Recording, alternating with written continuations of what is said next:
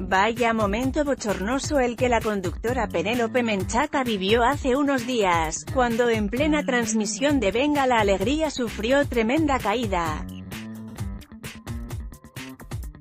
Lo anterior ocurrió durante la sección El Juego sin Palabras, donde su equipo adivinó la palabra que les había tocado en el desafío.